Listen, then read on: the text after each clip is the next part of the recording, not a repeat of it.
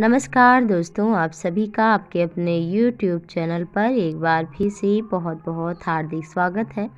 अभिनंदन है, ईश्वर की कृपा आप सभी पर बनी रहे इसी शुभ प्रार्थना के साथ में।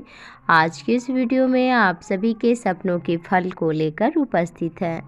चलिए जानते हैं स्वप्न में बर्तन देखना। दोस्तों, यदि आपने भी सपने में बर्तन देखा है तो ये सपना शुभ माना जाता है। बर्तन देखना और बर्तन को खरीदना, ये सपना आपके लिए लाभ, धन आना आर्थिक रूप से आप अपने जीवन में उन्नति कर पाएँगे, इस तरफ़ इशारा करता है। बर्तन अगर धोते हुए आप देख रहे हैं तो ये सपना किसी मेहमान के आने की भी सूचना देता है। खरीदते हुए देखना आपके कारोबार में वृद्धि होने का इत्यादि रूप में सूचक है।